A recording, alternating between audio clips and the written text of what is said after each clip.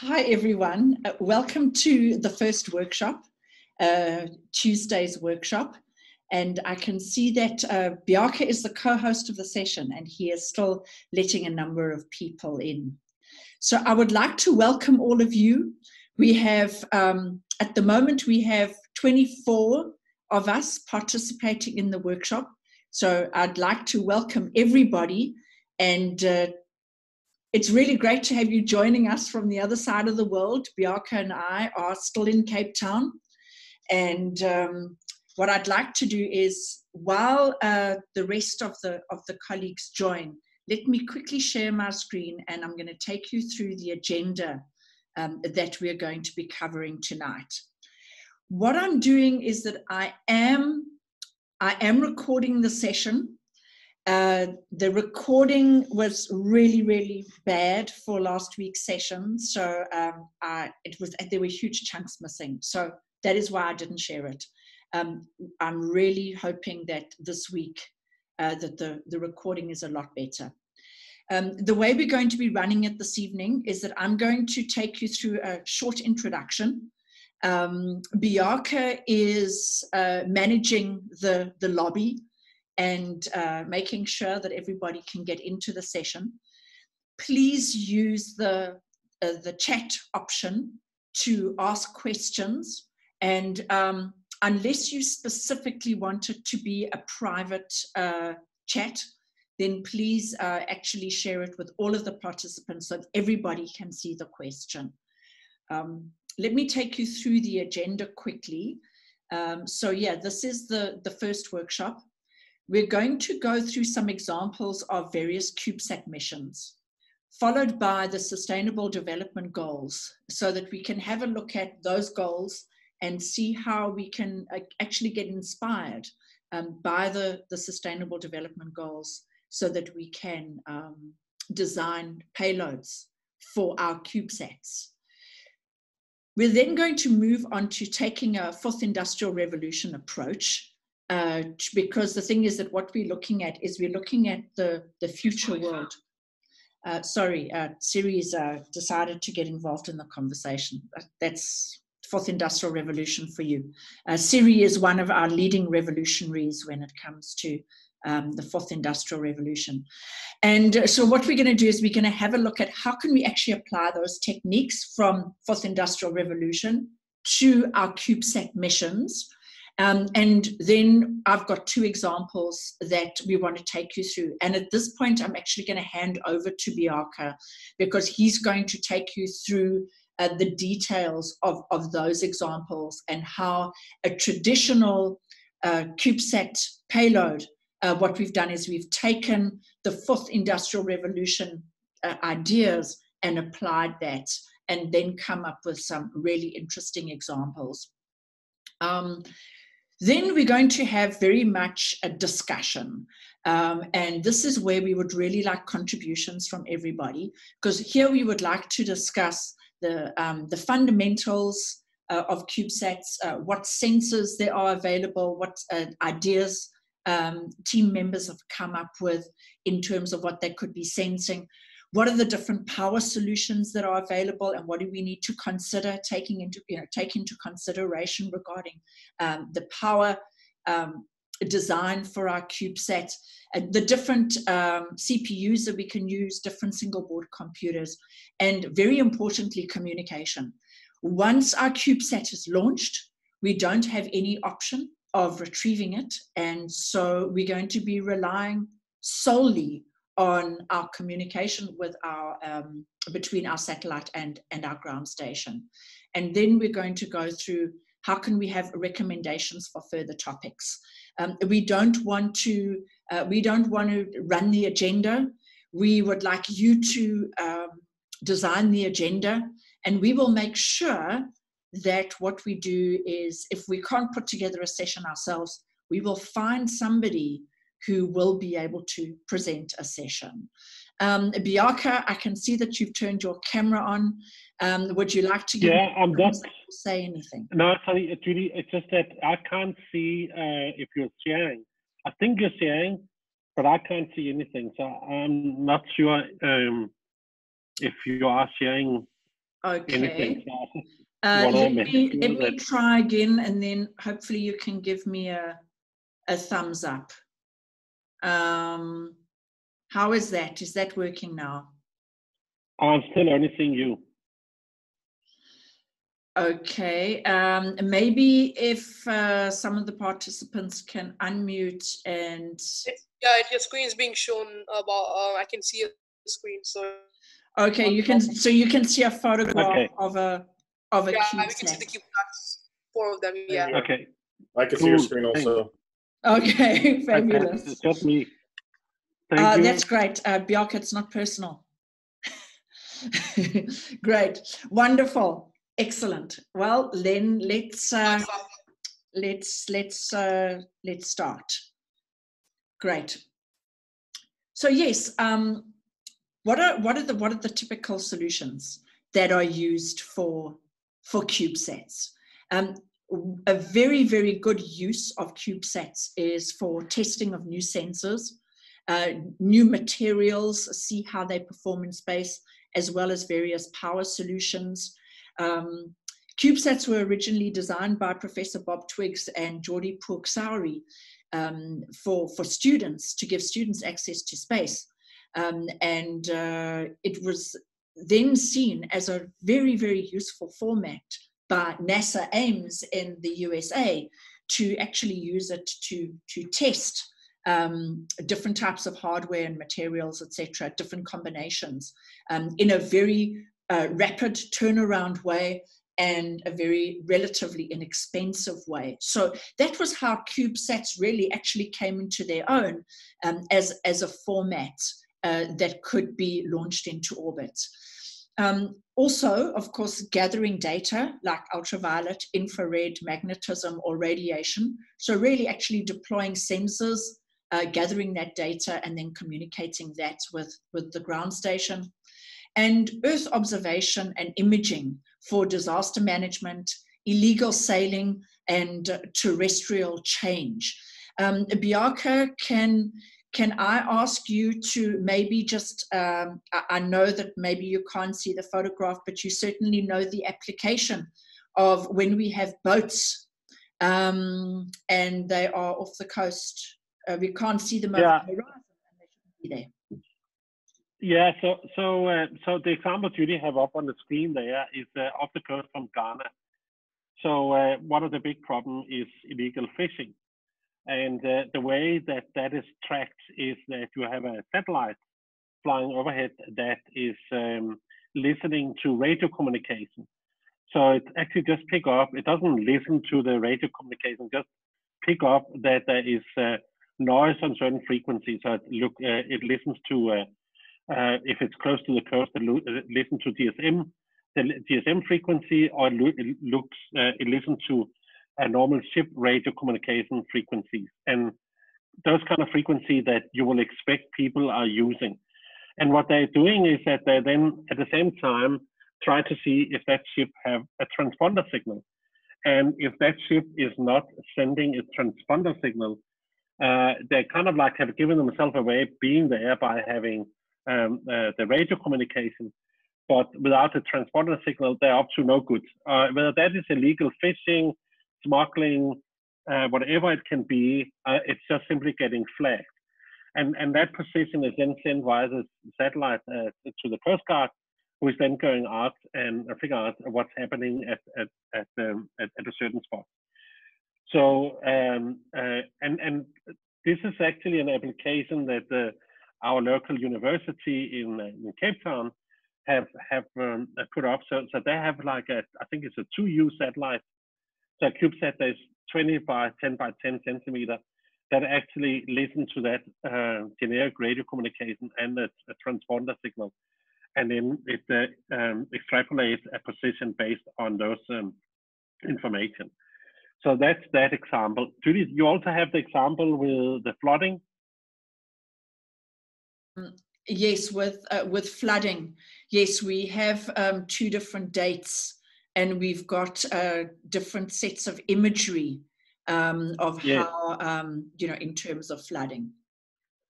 So, so one of the interesting things is that one of the probably most used uh, um, um, technologies and being used on satellite is simply just having a camera on it and taking pictures uh, of the ground. And obviously, a normal camera with a normal picture is maybe not useful all the time, but what can be used is like, for example, in this case here, where it takes a picture the one day and a picture the next day and so on.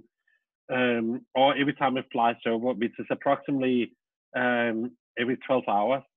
Then it will take a, a, picture and it uh, will download it. Or if uh, you have AI on board the satellite, it will compare the two pictures and kind of like give a warning. And it can do that with a lot of things. In this case, it's flooding.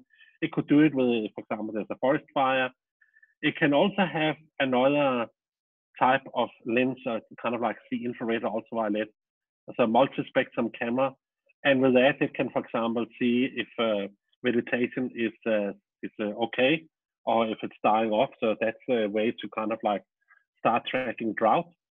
Um, we have another satellite that was launched um, for, for, for the purpose of, of capturing uh, forest fire. And one of the things that I figured out was that before a forest fire starts, uh, um, the forestry actually sends out a small amount of potassium.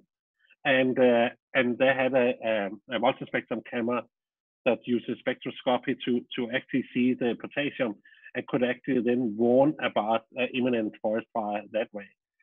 And back to the thing with the camera, the first satellite that actually sent off this university was just a normal one CubeSat, and I used it to um, as a as a as a radar point. They were gonna try to uh, measure something where they simply just want to have a ping back. And because it was such a simple thing, they decided to put another payload on, which was just a camera. And what they did was that they didn't have any um, um, attitude control, which means that they couldn't point to Earth. It was just kind of like flipping around in space. So what they would do is that they will kind of like just figure out on the picture it took, if it was black, and if it wasn't black, they will download it and it will see, oh, this is like a great picture, this is not a great picture. And I did that simply just kind of like very simple methodology to to uh, to to uh, uh, have another uh, project on that satellite since uh, they couldn't send anything less than a CubeSat off. So that's just a couple of examples. 85% of all communication to satellites today is actually just some kind of imagery. It's a video or picture, and it might be pointing at Earth or it might be pointing out. But there's really a lot of the data that's been downloaded today that's based on on imagery of some sort. Judy? Great, Bjarke, thank you very much. So yeah, the Sustainable Development Goals. Um, there's 17 goals all in all. Um, and there is a lot of really great lesson material out there. There's a lot of uh, terrific content that has been published by the United Nations, as well as a, a number of uh, academic institutions. So, what you can do is you can have a look at it and you can decide, um, and you can have a, a discussion um, amongst yourselves um, in the classroom on, uh, you know, what are we going to focus on? Life on land um, a great, some great examples given by Bjarke of how can we observe quality of life on land when it comes to, to floods, fires, uh, all of that. Um, life below water, certainly by um, uh, using uh, uh spectroscopy, uh, Bjarke knows how to say the word better than I do, um, or definitely imaging of particular wavelengths, one can see the temperature of the oceans. Um, and so one can see are, are there areas uh, where perhaps it's, it's, it's, too warm or where we've got um, cold currents uh, flowing and all of that kind of thing. So certainly um, what I would do is that I would recommend that you have a look at the uh, UN's Sustainable Development Goals to generate some ideas of how you can design payloads for your CubeSats. The fourth industrial revolution it's a term that's been coined uh, definitely in the last 10 years, um, actually by the World Economic Forum. And uh, what they did is that they said, let's say if we had um, three industrial revolutions. The first industrial revolution was about mechanization, steam power, the weaving loom, which really changed um, a, a lot of the textile industry. And then Industry 2.0 was about mass production, the assembly line, um, electrical energy. So that would have been what roughly, you know, just over hundred years ago. Um, Henry Ford uh, inventing the uh, the production line, uh, the, the, assembly line, um, and of course electrical energy. Um, the great uh, stories uh, that come to us from history of Nikola Tesla um, and Thomas Edison and uh, how they had these two different viewpoints one with direct currents, the other one with alternating currents, um, and uh, who was actually going to win that uh, electrical battle uh, to become the standard. And as we know, uh, most of uh, electricity that we use nowadays is, is alternating currents. Um, Industry 3.0, automation, computers, and electronics. And now with Industry 4.0, it's about cyber physical systems, Internet of Things, and networks. So, what is it really that we need to look at um, in terms of the specialities that we, um, we need to consider for the future? Certainly, Internet of Things. So, the idea that we have uh, a multitude of sensors in an environment uh, performing remote sensing for us, and that the data from those sensors is transferred using the internet to a database where we can actually then start working with that data. We can infer from that data, and it creates a platform for decision making for us. Um, and here we're not talking about five or 10 sensor, sensors. Here we're talking about thousands, sometimes even millions of sensors.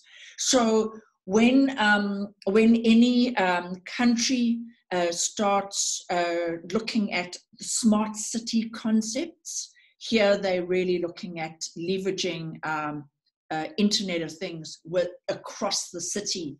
Um, and how can there be millions of sensors out there collecting data on an on- ongoing basis so that real time decisions can be made about the operation, the safety, security of the city? Um, big data uh, this is one of the topics that Bjarke covers when we go through uh, the mission that we had to the International Space Station early this year. And uh, what it is, is it's about how there are particular techniques that one needs to start applying when dealing with really large uh, data sets, which, uh, and these, these data sets can't be, can't be managed in something like a, an Excel or a Google Sheet um, here we really need uh, special database tools to, to start managing these very large sets of data. Uh, in machine learning, uh, what one does is one, uh, one uses the big data to train machines. Uh, we certainly can train machines through, through repetition. Uh, we can teach them. Um, and then what we can do as well is we can start building artificial intelligence engines um, based on all of those above based on internet of things or the, the sensing that, that we have um, big data concepts machine learning and eventually what we can have is we can start having a level of uh, artificial intelligence.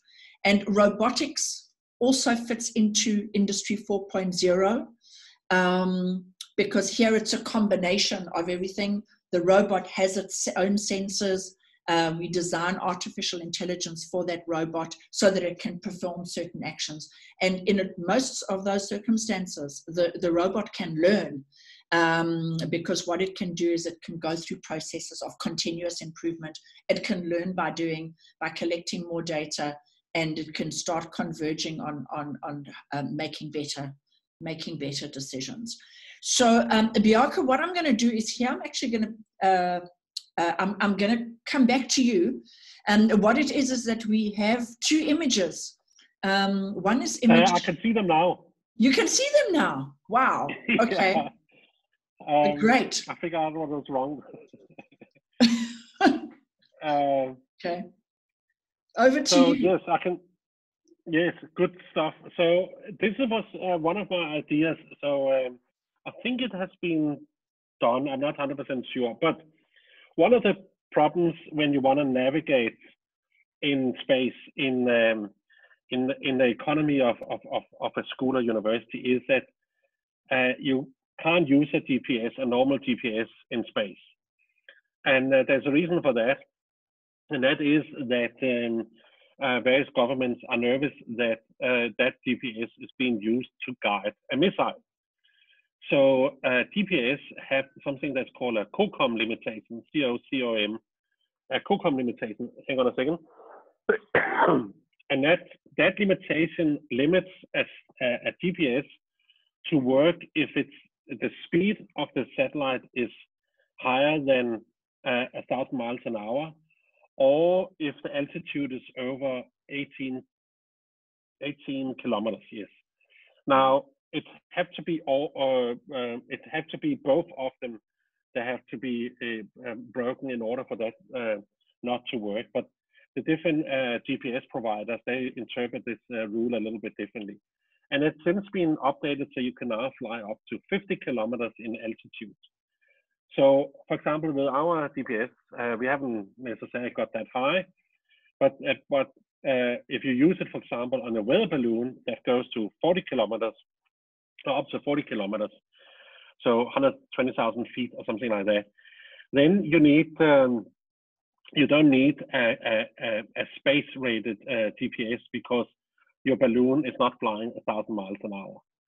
But once you get into low Earth orbit, so LEO, you fly a speed of uh, 27, 28,000 kilometers um, per hour, and you are obviously in altitudes of uh, like 400 kilometers. And then the GPS, normal GPS will not work. So then you have to go out and get yourself a space-rated GPS, and they're a little bit more difficult to get hold of. So one of the projects I imagined was that could you imagine you had a camera on your satellite that, you know, faced down to Earth, and here's like a picture of Italy because that's always my favorite example. And I can see that's Italy because I looked at a map before and that looks like Italy. I also know approximately how my satellite flies. It's not like suddenly, you know, over Greenland or Galapagos Islands. You know, it's going in specific routes. So I constantly can imagine what is the next thing I have to see. So I also kind of like can control the, the satellite so it points down to Earth directly. So I should be able to take a picture uh, or, or, or, take you know images from this satellite, not necessarily send them down to Earth or anything like that, but use some image recognition and say this is my latitude and longitude. So I can use image recognition to navigate with. But the real idea here is that I can now have satellites flying over other bodily, uh, heavenly bodies like the moon that Judy have uh, presented here, like the Tycho crater.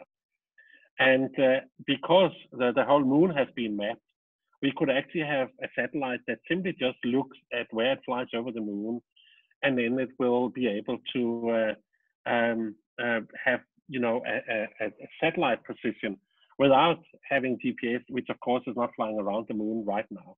And of course, that technology can be used, uh, you know, if you send a satellite up around Mars.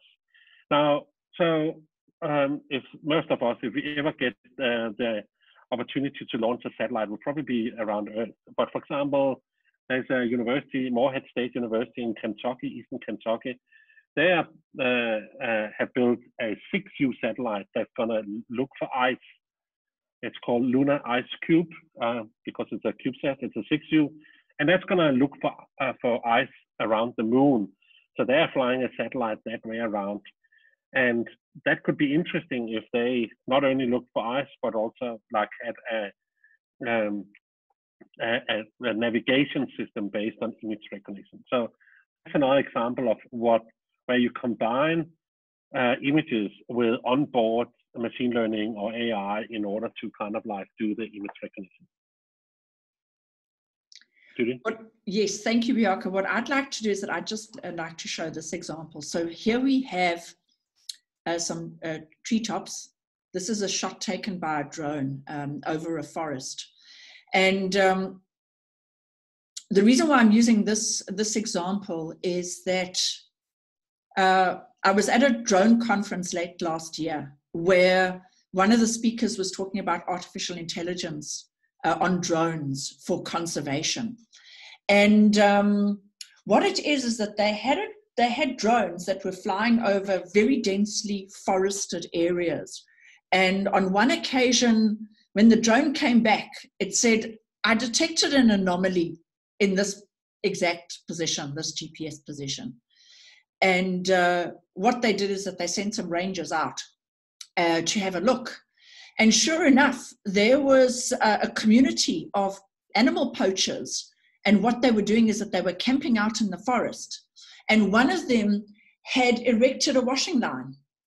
And what the drone saw is it just saw there's a line and we don't get straight lines in nature. So here's an anomaly. I don't know what it is, but I know that there's something that's wrong. So, what we could do is we could use that same type of artificial intelligence on our satellites where they could be in orbit, and it's only when they recognize an anomaly that they can say, um, This is the picture I'm going to send down, or this is the GPS location that I'm going to send down. So, what we've done now is we've taken fourth industrial revolution concepts, artificial intelligence, um, and we've applied that in a CubeSat environment. So instead of having um, masses of photographs which need to be downloaded or video footage that needs to be downloaded, which is really, really expensive because that's one thing you're going to find with your CubeSat budget is you're going to have a data budget. Um, so what you actually want to do is that you want to run your AI engine on your CubeSat and what you want to do is you only want it to tell you when there's an anomaly. And the thing is, it doesn't even have to send the photograph. What it can do is it can say, hang on, I've detected a straight line at this exact GPS position. Or I'm seeing here that something has changed. Um, I orbited here uh, you know, so many hours ago, and since then, uh, the, the, the, the route of the, the river has changed slightly, or maybe the banks are swollen, uh, I'm detecting a little bit more smoke, uh, I've got a change in temperature. Any kind of anomaly can be detected, and then only the data of the GPS position sent, which really saves considerably um, on our um, on our data budget. So the thing is that in, in the next session where we have our open and our group discussion, um, what, what I'd like us to consider is that with absolutely everything, we have a budget. So we have a power budget, we have a financial budget, we have a data budget, um, a mass budget, because uh, your, your CubeSat's only allowed to weigh so much, so many grams, otherwise you're not allowed to launch it. We have a size, a volume budget. Uh, it needs to be within that 10 centimeters by 10 centimeters by 10 centimeters constraints. So there are all these various budgets that need to be taken into consideration. And then what we need to do is we need to weigh some up against others because we, we can't have everything.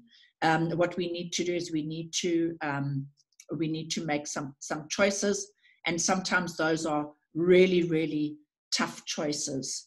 So at this point, what I'd Judy, like hang on before you Bjarke? before you move on. Um, I just go back to that slide. Robert Lee have a, has his hands up, so maybe we um, can get a question in here. Great. Um, hello, can I, am I able to speak now? Yes, Absolutely, yes, you Robert, speak. we can hear you. Yes. Okay. Um, I wanted to ask a question back um, regarding a GPS. Is that is um when you say that you were mentioning earlier that the reason why a GPS will not work at a certain altitude or a certain speed is because concerns of missiles or something like that? Yes, that's Did correct. I hear that correct? Okay. You heard that correct. So, so, um, so, so it's it's kind of like you know uh, rules. Let me just put like that. You can, you know, always um, uh, argue whether it's uh, it's uh, fair or not fair.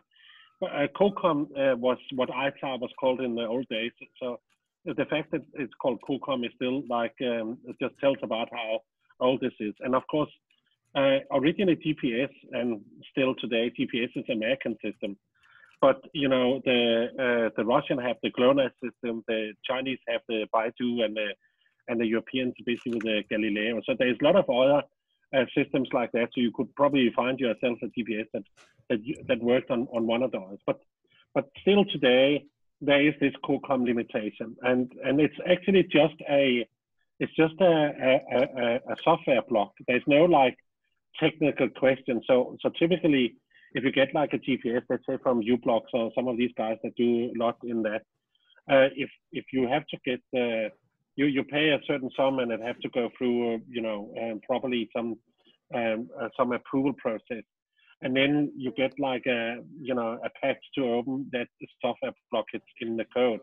So it i see. stop. okay. actually, it actually powers off if you are passing those limits uh, and then it doesn't turn on on again unless you like reboot it so so so the thing is that it, it's actually in the old days uh, when i'm saying the old days before 1999 gps had something that called SA, uh, selective accuracy where because it was actually for military use, it will not give you a position uh, more um, uh, exact at 100 meters. And that was uh, turned on and off during uh, um, uh, the last century. So, for example, the the, the, the war in in uh, in Kuwait, um, they had to turn it off because they could only use a normal commercial GPS. There were not enough in the military otherwise. And then it was back, um, you know, with this uh, inaccuracy that was in, into effect. And then in 1999, they decided, no, the world had figured out how to get around that anyhow with something called differential GPS. So, um, so they decided, no, we can now have full accuracy. So the GPS now is full accurate, but you can still not use it on something that flies faster than a thousand miles an hour and higher in altitude than in, in most cases 50 kilometers. So, so that's the reason for, for, for, for that limitation, Robert. Okay, so I was wondering if it was like more of a GPS specification limit or if it was something that was fundamentally built into every single GPS chip or device in existence. So, so as, as far as I know, it's uh, so the, the, way you know with GPS works is that it's it's a little uh, it's a it's a kind of like a firmware that runs inside the the GPS. Yes, there's and, like uh, a and, yeah, mm-hmm. and there's and what it does is that it listens to different signal and infer like in uh, you know a, a, position, and and the the software. Uh, there's actually, if you Google this thing here, you can actually build your own GPS using a STM32 chip. And so you can yes. listen to the specific uh, radio signal and you can then and there's actually some software you can download. And there's actually also um, somebody who downloaded and pointed out exactly where uh, that software uh, doing that blockage, so you can take that away, and then you can actually build your own set, uh, your own GPS that way. It's of course a little bit bigger than uh, the one you normally buy because uh, you're gonna lay that out on a PCB that's probably like, you know, um, three four inches across both ways uh, for, for for for the different things. But but uh-huh. there is actually uh, software out there where they show how to uh, to do the GPS.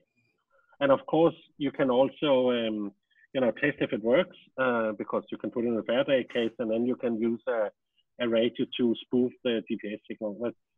But you have to make sure you do that uh, the right way. So like in a Faraday case where it's it's, it's yes. the signal doesn't uh, go away, and then you can you know accelerate. Uh, um, you know, the GPS uh, speeds uh, that way when you send the signal and you can figure out if the GPS works or not. And of course, you can do that with commercial uh, GPSs before you spend the money and send it to space to figure out if they are if, if they are like um, um, what kind of limitation they have. But it is uh, typically not a hardware block. It, uh, it's a firmware block uh, that have to have a patch it might even be that you give it a specific key or something like that, and then it opens up for, for that. So, so it's um, all satellites should be able to work equally well. I mean, obviously there's a limitation because uh, the GPS, uh, you know, radios are facing Earth, so you have to be below those in altitude, and they're like in 1400 kilometers. So if you fly LEO in 400, is fine. But you know, you okay. go to the geostationary, you have like a problem because they're, they're turning the wrong way around. So yeah, so that's uh, that's the story on the GPS. Um, yes, and the thing is that you you certainly can purchase a GPS um, that you could fly on your satellites. Um, and what would need to happen is that then you would register it, um, and then it would be associated with your satellite, so that you you would basically you would get a license for it. Um, and that that can be costly. Um, you know, we've uh, we've received figures, you know, sort of uh, in in the region of uh, you know multiple thousands of dollars um, for a GPS. So so that is why we're looking at, you know, could we have some alternatives um, that we could consider? Uh, especially um, in Earth orbit. But you know, also the thing is with with lunar orbit and with Mars orbit, we don't have GPS satellites there. Um, so uh, we would have to find another way uh, of, of navigation. But um, I, I, hope that answered the question. Uh, if you like, uh, what, what, I, if you if you want to put your your email uh, address in in the chat, um, I know that Bjarke did draw up a document at one stage for um, mm-hmm. for one of the uh, local USA uh, space agencies uh, at a state level, and so maybe he can what he can do is he can share a lot of that detail with you just to just to really unpack it so that you know you know at what point you would need to to register uh, your GPS or when you don't need to. Okay, um, I'll just put my um, email in the chat. Um, right. I'd love to talk to you um, after this. Okay. You know, this is a great presentation, but please continue. I think I'm holding everybody back. No, no, it's fine. Uh, don't worry. Uh, that's absolutely fine. It's at this point, actually, where we're going to start discussing all of the fundamentals.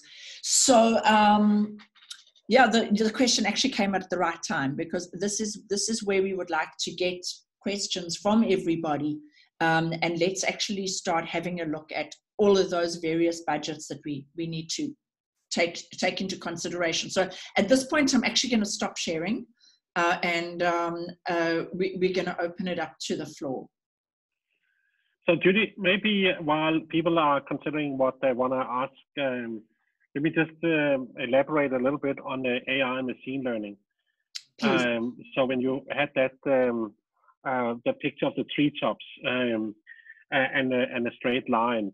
So, so the thing is, uh, in, in general, uh, when you want to do your project here, you can of course consider many different things. So, so typical, if you want to put it on a satellite and fly in space, it's because you want to observe something, you want to test something, and and and there's a lot of different things as I think Judy mentioned earlier. You can use it to you know, uh, observe something on the Earth or, or, or way, other way around, you know, somewhere in space, you can use it to, uh, to as a tech demonstrator to, to test new material or new technologies or new radio technologies or new power solutions or whatever it is. So, so there's many different solutions.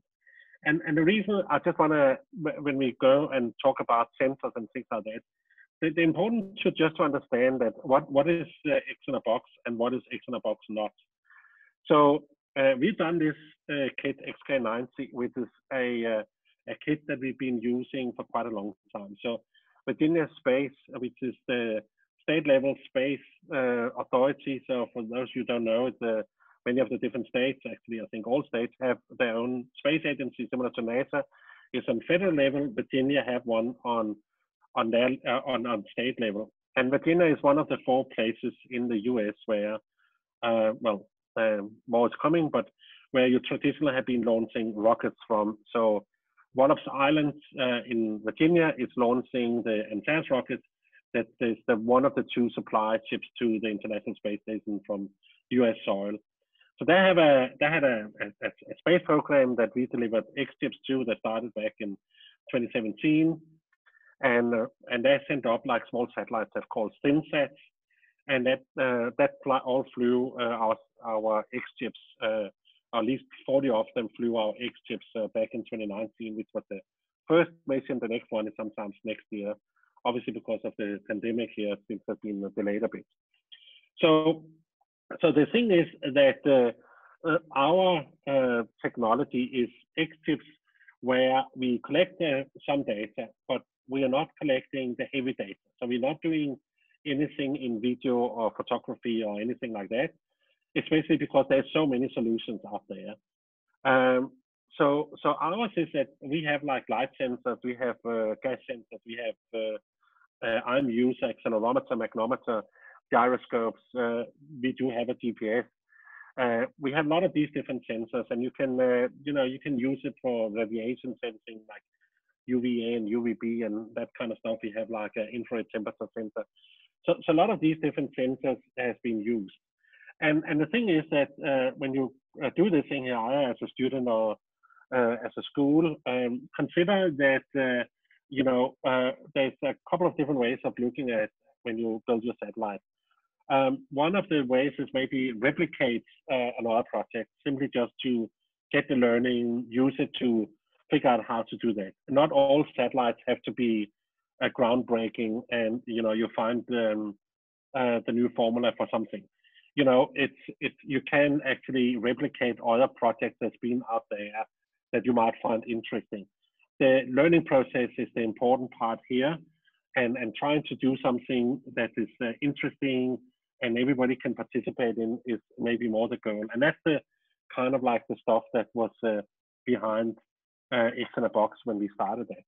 But we do also recognize there might be other stuff you want to do. So, for example, when we have like uh, in, in, in the kit, you are, uh, if you buy the XK90, the, the, the CPU that sits on the satellite um, um, on, on this, on, we call it the flight station, uh, is this CS11. So this is uh, the same as an Arduino Zero, and it have like a SD card here on the back. And obviously, you know, that's all great when you fly something um, uh, on a balloon or drone or just have it in a, a classroom because uh, there's a good chance you get it back.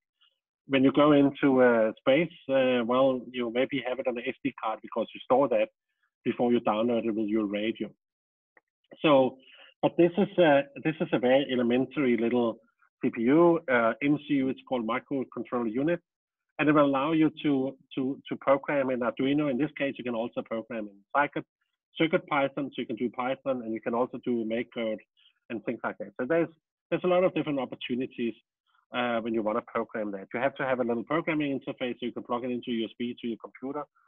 But but that's um, uh, that's the one unit. The other unit is this uh, CW1, and that you uh, that comes with the programming unit, and that has like a Wi-Fi behind here. So this one here, you can program in Arduino also, and it allows you to to you know make a program that uh, uh, you uh, can send data live using Wi-Fi. So we have that in the ground station in this XK90 kit. Now, um, uh, in in in the XK90, the reason why we kind of like have certain chips there and X chips we call them sensors and things like that is because we've done some software upfront, so you can install that software and get it up and running and working, and you can then tie it to you know a car, a balloon, or drone, or whatever you want to, and, and see how it works. But you are also uh, have an opportunity to program these different devices. The rest of us doing that, so you can. Now, let's say, for example, you say, but uh, I want to do something that's a little bit more heavy than this thing here. So I want to use like something like a BeagleBone. So you can see we have like an interface here. So if you, for example, have like some sensor, and I'm just putting like a black, uh, blank um, um, board in here. So I can uh, plug in like uh, a, a board like that. And you can also do that on a Raspberry Pi. So depending on uh, where you are in the world, the Raspberry Pi is a, a British product that's quite famous in the uh, most part of the world. The BeagleBone Black is uh, kind of like more uh, well known in university circles in in uh, for for, um, um, um, for, for satellite use. so, for example, this thing here is a you know fully fledged Linux computer. It have a uh, you know, uh, HDMI port and uh, and port for for keyboards and mouse and things like that. So so this will run, you know, a, a, a, piece of software uh, Linux style where you can program in all kind of things. And what you can do is that if you want to then add, you know, really hardcore uh, capabilities, you can actually get these uh, Movidius sticks here that allow you then to do AI. So this is there's nothing other than it's a little onboard computer here, but it's kind of like um, you know your own little supercomputer for artificial intelligence. So it's made by Intel. So uh, so that allows you to plug in, and then you can load TensorFlow, which is a Google AI product, and then you can do image recognition things like that. So I'm just mentioning it because you can see the only thing that's in a box here is maybe this little sensor here. Now, what if you want to put that on a satellite? Well, you can actually get the Raspberry Pi as a Raspberry Pi Zero. So this is uh, this size here, and you can get like an interface to that from uh, from us. It's called a BR03. So you can see it's just the uh, size of, of, of two um, of two X chips in size, and that allows you to to actually put a Linux computer inside your um, your XK90. So you can see compared to um, the, the, the chip I showed you here before. Just take it uh, uh, from the back here in both cases. You can see it's just double the size as uh, as this one here. And uh, you can get like, uh, this, this, is a camera port. You can get a camera for this thing here if you want to. Here's the SD card. Uh, there's like power, but this one here will be powered via this board here also. So you don't have to have separate power. You don't have to use the USB here um, port for powering. And obviously you're not gonna, uh, you know, carry a, a screen around when you fly on a satellite. So you can just have a camera here. And we had a project where we put this camera here and then we controlled it using a servo controller. So we have like a little servo controller uh, X-Chip somewhere on my table here. Uh, no, it's not this one, but it looks like this kind of stuff here where you then have a servo controller. So you can put a little servo in and then you could uh, pan the camera and, and control the camera. So when you look at your opportunity, the whole idea is that you can take X-Chip and you can also combine it with other stuff. Now, X-Chips as they are, is very neatly fit inside a CubeSat. They're easy to click together. You don't have to do anything else. But if you say, for example, I have like, let's say, for example, that you want to use like a, uh, uh, you know, an ultrasonic sensor. Not that they're very useful in space, but you know, you might want to use it with this thing here. How do I connect that? Well, so we have this kind of like breadboard interface here where you can take your different sensors, of course, or whatever you have already and, and, and connect it to that. And then you can use normal breadboarding to connect to your, your circuit. And of course, now you're on your own uh, because you have to figure out if you have the right power and the right pins and all that kind of stuff. But, but there's opportunities to kind of like uh, breadboard it like that. Um, it of course gets incrementally more difficult, and that's one of the reasons why you know we did the X chips because um, when you want to connect two X chips, there's no like wiring or anything like that. On the X chips, there's no it doesn't say what's on the pin because you can only put the connectors in uh, in uh, one way. And then when you click it together, you know that it has the right power and signal and all that kind of stuff. Everything is actually in the programming which is the big uh, the big task uh, uh, for us is to kind of like make it a little bit easier um, on on on getting going with satellites. We originally developed this thing here so high school learners in South Africa could build a satellite using uh, NOLAB. Uh, and of course, now more than ever, it's uh, increasingly important that you can build electronics without a laboratory because we have to work from home not necessarily from a school. So this thing here, the only thing it requires is these five uh, to put this thing here together. So no voltmeter, scope, solder station, and all that kind of stuff.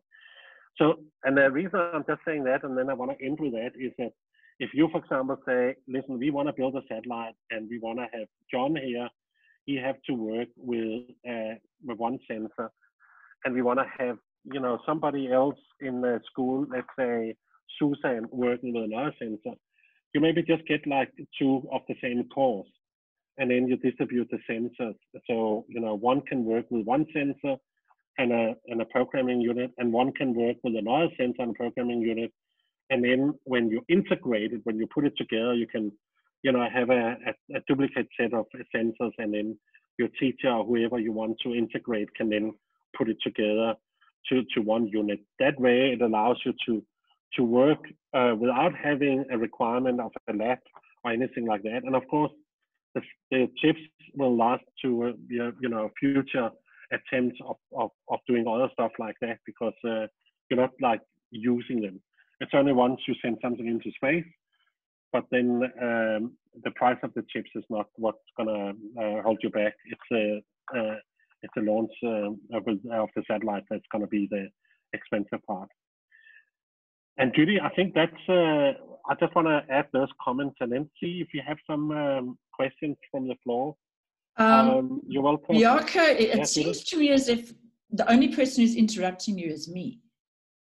Um, but there, there is, there's definitely something. There, there's two topics that I would like you to cover um, Yeah. that we need to that we need to consider when we're doing our CubeSat design. Um, one of them is around power and power budget, and how, you know how, how do we deal with that? How we do? How do we deal with um, uh, consumption, power consumption, recharging? Uh, what happens, you know, temperature-wise, that sort of thing. And then um, the other question that I also have for you is, you know, uh, what about communication?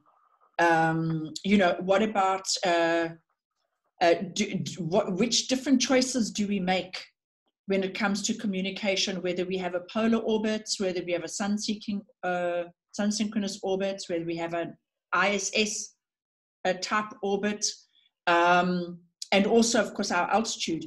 Uh, you know, um, you know, as, as you said, you know, if you if you're flying at a higher altitude than the GPS satellites, well, then you, you can't use your GPS uh, because you point they're, they're pointing in the wrong direction. You know, but you know, so so I would I would like you to just, if you wouldn't mind, just cover some of the considerations around power and then uh, also around communications. Yeah, that's great. Um, so obviously, And, and before you start, I'm sorry, before you start, you Yeah. only have nine minutes for both of those topics. Yeah, now I have eight. So, so, uh, so let's start with the power. So the first thing is that in the kit, if you go for the XK90 kit, there is a double A battery um, uh, holder there that's called PB04, and it it you can ask and, and automatically in the software we made. But if you want to use the library for the PB04, you can ask what the voltage level is and what the current consumption is. And then, of course, what you can do is that you can add the current consumption together. So we we uh, so so so the way that you have to consider uh, uh, uh, uh, the budget here. So, so so let's talk about the restraint in the budget. So first of all, if you use the PB04, um, then those batteries are not rechargeable, and the PB04 itself is not a unit that is rechargeable. We have a, another unit that's called PL02, which is uh, power lipo CO2, which allow you to attach a solar panel. Uh, so you can get these uh, solar panels, uh, like uh, cheap solar panels from uh, um, uh, this one here from Amazon. And then you can attach that to a PL02, and then you can get yourself, uh, you know, a small LiPo battery, like these kind of like small batteries here. This is like standard 3.7 volts LiPo batteries, and then you can, you know, make yourself a rechargeable a circuit like that. Um, the one we provided is a normal PPM4, which is a double A batteries. And of course, you can put rechargeable double A batteries in, but you have to take them out, recharge them, plug them back in again. It's not like uh, something that uh, is very useful in space. In space talk, you will call a battery that's not rechargeable, you call them primary. Yes, Judy is holding it up there. Um, so, uh, uh, so in, in you call them primary batteries, and you call them secondary when they're rechargeable. And the reason for that is that uh, you're not allowed to have recharge charged batteries. Only primary battery that's fully charged is fine. And if you use rechargeable battery, they have to be empty when you launch them into space and then first recharge. So some satellite guys, they will say, no, no, we want to we want to make sure that once we uh, launch, uh, we have battery, maybe because they have to, you know, unfold the solar panel and then they need, uh, you know, power to do that. So they will have normal batteries to, uh, you know, do a burn wire. But this is actually a burn wire module. So this OCR1, you can connect that to the PB04, and then you can put a nichrome wire uh, in, in, in one of the loops here, and it will take a lot of uh, the, the current from the batteries, and it will actually be able to melt over a nichrome wire, or you can connect like a, a nylon wire to the nichrome wire and just burn it. Don't run it for too long, like 20 seconds, uh, three seconds is fine. Otherwise, you just drain the battery. Um, when you fly on uh, with a PB04, but if you do a, a, balloon flight like we talked about last time, then uh, I suggest that you get what's called uh, lithium batteries. So not the standard uh, rechargeable lithium-ion batteries, but just lithium batteries. Um, uh, Energize and Duracell and all those have these lithium batteries. They will they're rated to minus 40 degrees, and that's Celsius. So you have to sit with your calculator because I'm very metric. Um, and then, uh, but we've been flying with to minus 52 in 12 kilometers height. So that's, I can calculate that. That's 36,000 feet. Um, so, so, so that's fine. So, so uh, for for your purpose here, you you have to kind of like consider a battery um, and, and power budget if you are if, when if you fly a satellite into space. For example, one of the reasons why you didn't used to do AI um, in um, in space was because this thing here, a computer power can take a lot of power. These ones here have reduced it dramatically, so you can do AI for, for less power. Now the radio communication, uh, which was the other thing Judy asked me to cover, is going to be the, the budget constraint because if you fly a satellite and let's say 400 kilometers, that's like one of the most normal low Earth orbit, LEO orbits. And that's because you can launch from the International Space Station or a lot of um, rockets happily fly you to 400 kilometers. It's one of the the, the, the lowest altitudes that give you, uh, you know, like a, a, at least a year flight. Uh, when we flew the ThinSat, they flew from 207 kilometers. And because of that altitude, they were actually uh, burning up in the atmosphere already from that point. So they only flew for five days and then was out. But for the, the purpose and, and the, the price uh, that cost to launch the ThinSat, and it did actually collect data for, for, for those five days, that was an okay project. Now, there's not a lot choices still when you want to fly, for example, um, 400 kilometers with the International Space Station, you can get a ride with the International Space Station and when they have time, they will then launch it out of the Japanese uh, uh, window that, that they launch it from. But there's like uh, electron rockets, there's other uh, type flights you can fly with. Uh, they also have like a ELANA project where you can go in and apply for, for, for a flight. Now, what I think is that most of the people who is in this session here uh, is not going to necessarily have a satellite that fly in space, uh, but have something where you want to simulate your flying in space. And that's the reason why we did the XK90. Because if you only simulate that you're flying space, like for example, on a, on a balloon, then that flight will be, you know, you know, less than a day long, and therefore non-rechargeable battery will be fine for that. So let me jump for the last minute or two here over to the radio budget. So the radios that is on the XK90 are both 915 megahertz radios. That's license-free um, radios you can use. And the whole thing is that you have something you call a link budget. So a link budget is that you have a transmitter that sends with so many, and, and we used to say milliwatts, but now we say dBm. So for example, uh, 100 milliwatt is 20 dBm. So you will you will send a radio signal over 20 dBm. But the reason why we chose our radio is because the listener will listen with minus 148 dBm. So you have 20 you send with, and you have minus 148 you receive with. So you have a link budget of 168 dBm. And then there's like online uh, websites where you can go in and calculate your your link budget. You say, this is my frequency, this is what I listen with, this is what I'm transmitting with. Then you can go in and say, I have a, a monopole antenna, I have a dipole antenna, and that gives you 2 dBm or 10 dBm. And then you have a little bit of signal here and there, and then you can see what the distance is. We calculated if you have two balloons flying in 15,000 feet, they can communicate uh, across, uh, let's say, um, 700 miles or something like that. They have to be high up so they're free of the Earth and the Fresnel zone there is of the Earth, but you'll be able to uh, communicate quite far like that. The orbit, you know, you're 400 kilometers over when you fly on a uh, on International Space Station, so that's not necessarily your limit, but you have to make sure you have an orbit that flies over your head, obviously, and um, polar orbit flies over everybody's head, but Um, if you take the International Space Station, um, then you should be covered in uh, most of the US, maybe not Alaska.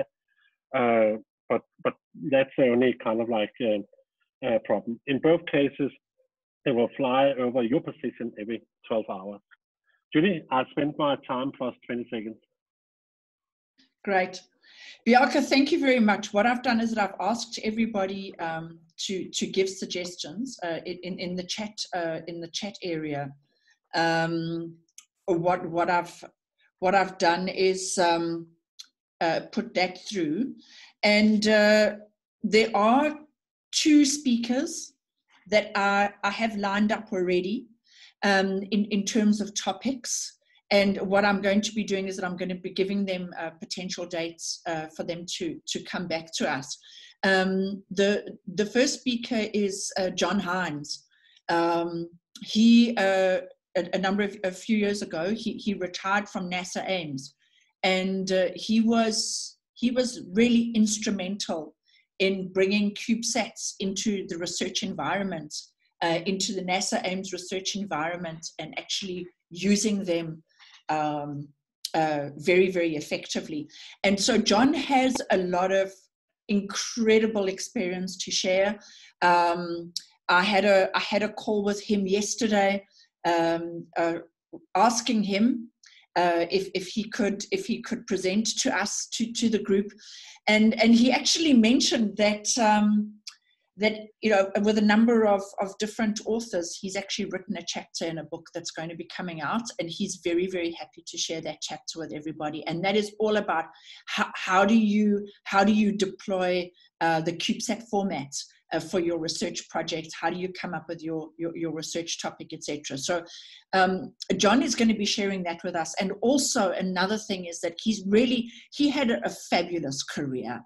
Um, and uh, so uh, what I've asked him to do is perhaps, you know, uh, uh, I'm, I'm going to be looking at a number of questions to ask him uh, so that he can actually share with us um, his career path. Um, and so that what he can, so what we can do is we can actually use that video for, for students um, so that they can actually see uh, space technology as, as a really exciting and, and potential career. The second person that I've already lined up is a gentleman by the name of Mike Miller. And Mike is, he he and his company, he's, he, he runs a, a, small consulting firm. And what they do is that they get all of the paperwork ready for satellites to be launched into orbit. So there's a lot of red tape that needs to be gone through. Uh, there's a lot of paperwork that needs to be submitted. And so, what Mike will share with us is what is it that you need to consider? So, this whole subject of the GPS, I promise you, is going to come up again with Mike. Um, but there are a number of considerations that you really need to take into account when designing your CubeSat so that you don't get rejected um, when you put through your application. So he comes with a lot of really, really great uh, great tips. Um, and then I can see, I can see here in the channel that um, there's a question. Um, uh, uh, let me, uh, um, I need to open this up properly. Um, in terms of uh, metrics regarding wildfires and, and imaging uh, capabilities. So what we'll do is we'll, we'll certainly add that to the list. Um, and then also in terms of there's another question uh, around uh, data rates uh, that we can expect from satellites using using different uh, radio transmission um, uh, um, choices that we have. And what we'll do is we'll we'll probably um, we'll probably have uh, Dr. Edmondson give us a, a session on, uh, on, on radios because that that's one of his areas of speciality. The combination of radios communications and, and power and and how do you juggle those budgets? So um, let's uh, let's add uh, let's add William Edmondson here to the mix. Um, and uh, great.